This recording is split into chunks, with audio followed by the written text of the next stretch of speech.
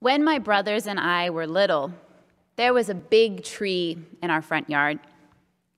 My oldest brother loved to climb it, but my mom gave him strict instructions that he could only climb the tree when there were leaves on it. Or so our family lore is told. When the tree was bare, mom could see how high my brother was climbing and this would terrify her. So he could only climb when there was full foliage and could be hidden by the leaves.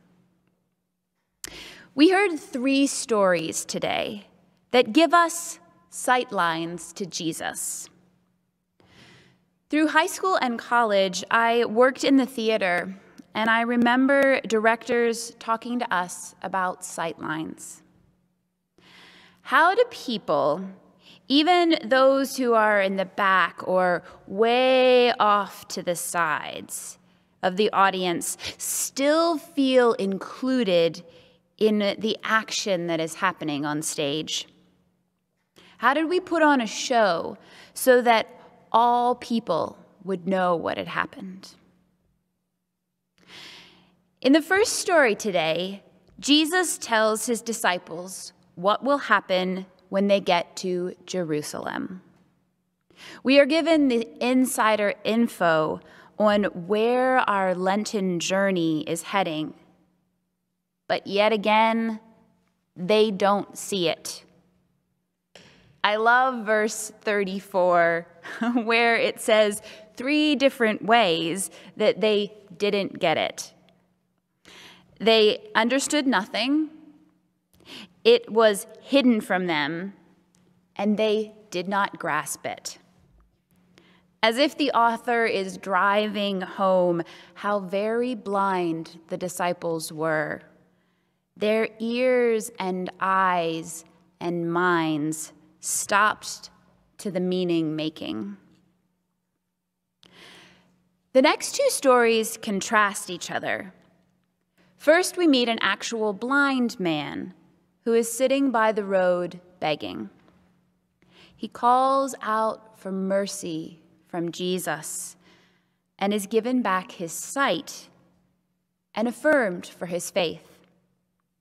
And we finish with the beloved text, the beloved text that many of us remember from Sunday school of Zacchaeus up a tree trying to get a view of Jesus.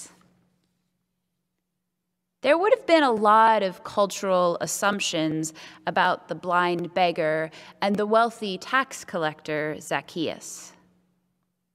What happened to make the man blind? Was it sin?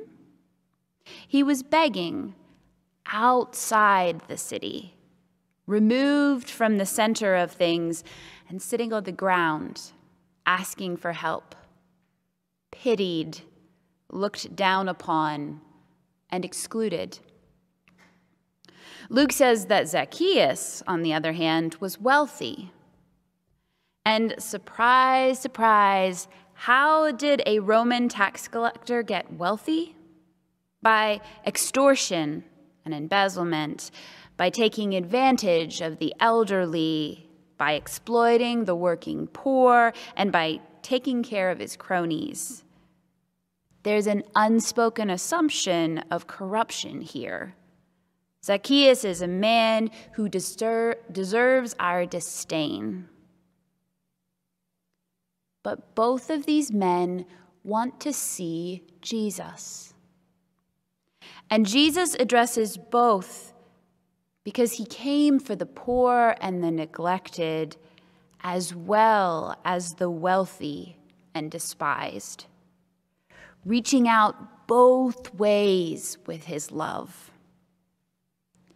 Jesus came for the lost and the least and the oppressed, and we are used to talking about that. But the Zacchaeus story surprises us by Jesus calling someone who is rich. Zacchaeus leaves his dignity on the ground and climbs up a tree. Unlike my brother, I did not get the skills for climbing, and when I get a few feet off the ground, I feel like I want to throw up.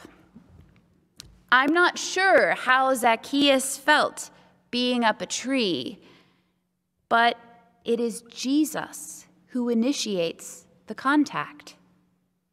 Jesus looks up. Jesus invites himself to Zacchaeus' house. Jesus doesn't call him to anything or ask Zacchaeus to repent. Jesus only asks Zacchaeus to be a host.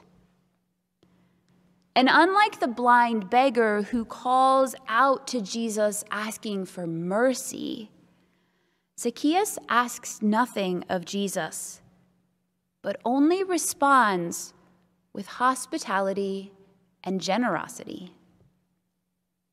Maybe it is the proximity to Jesus that calls him to a dramatic change in his life, his finances, and how he conducts his profession. Do we need to check our assumptions about others and these stories? Do we see ourselves in the middle economically? Not super poor, but not super rich. This story reaches to the edges. The poor that we know that God loves, but that we still hold at an arm's length. We don't want to get dirty. And the rich that we know God loves, but that we look down upon them for having too much money. And we wonder about their ways of getting rich and it might be a little suspect, and we might not like the choices they make about how they use their finances. Are we part of the oppressors, cutting Jesus off from sight?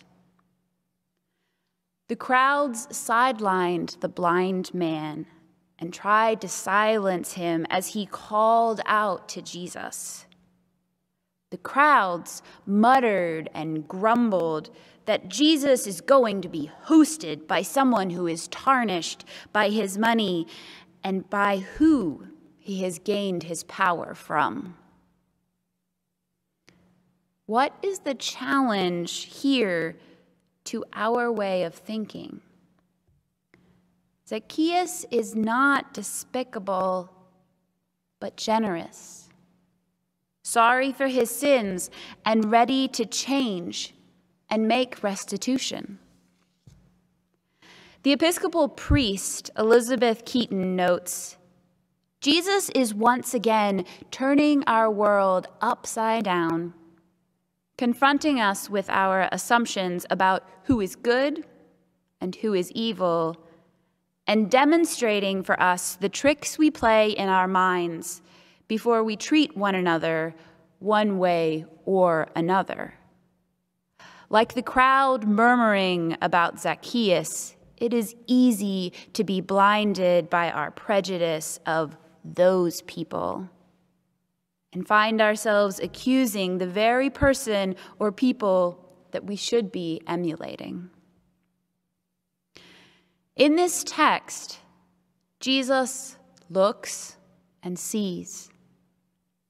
He stops and waits, meets us where we are, and asks us what we need. The blind man and Zacchaeus are seen in turn, and they truly see who Jesus is. One who comes to seek out and those that are pushed to the margins.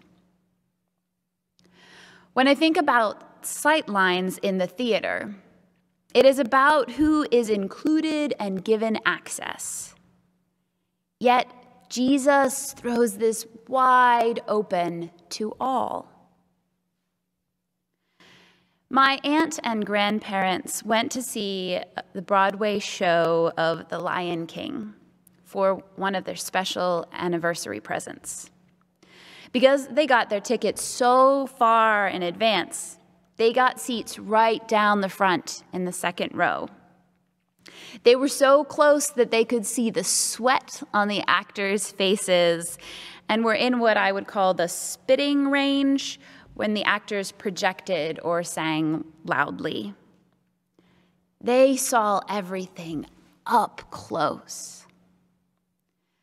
When I went to see the show a few years later, I was seated way up in the balcony, looking down on the action.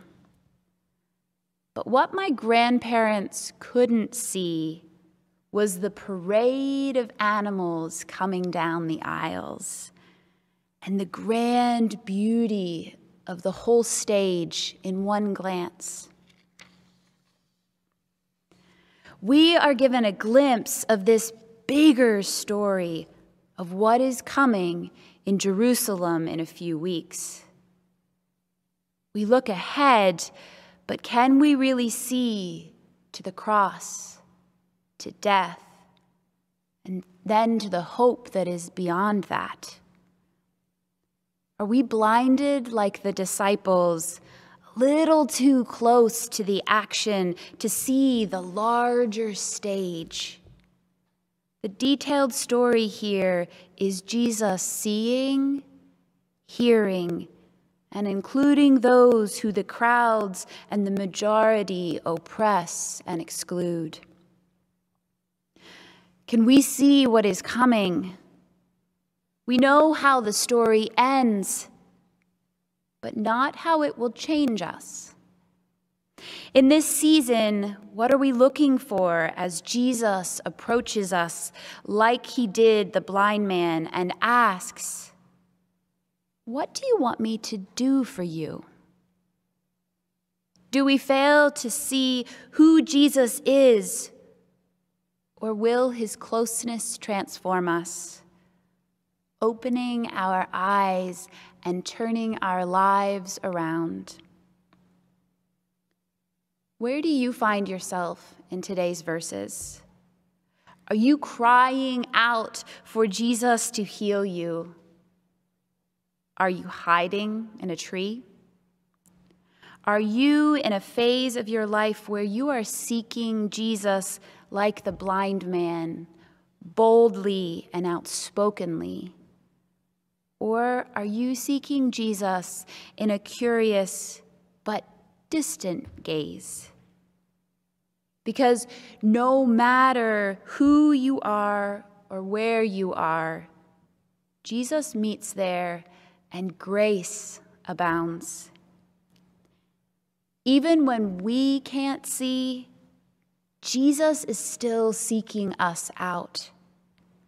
Jesus knows our names and our lostness, and he calls out to us from whatever tree we are clinging to and takes us home to be transformed. The blind man called out for mercy, and Zacchaeus didn't just want a glimpse of Jesus, but really wanted to see who Jesus was. Not just to look, but to know. May we open our eyes and hearts to this same knowing.